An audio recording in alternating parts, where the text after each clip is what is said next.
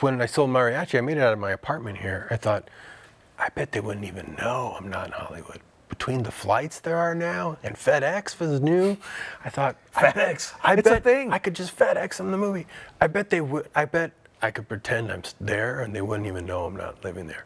And later, a few years later, when I was doing like Spy Kids, mixing it at Skywalker Ranch, George Lucas saw that I was my own mixer. And we started talking, and he said, "It's so smart you're in Austin. That's why I'm in Marin County. Because when you live outside the box, you think outside the box mm. automatically. You're going to innovate stuff just by just getting up in the morning because you're outside of the box. It's very traditional in Hollywood.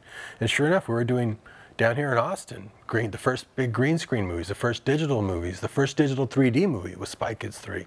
We were way ahead of the curve. Movies like Sin City, because we were outside of the box. We lived far away.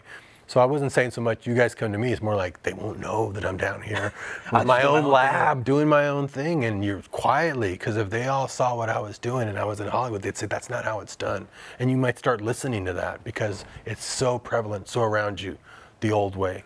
It's not as innovative as you think. It's very reactive. They react when something is a success. They'll go imitate. They're fast to imitate, but they're not fast to innovate. So being outside of that, that's why I like to tell filmmakers, if you come from a town that's not a movie town and you want to make movies, try staying at home like we did and try to build a film community around yourself. It's so rewarding. The ripple effects of your actions and your ideas go out through the community.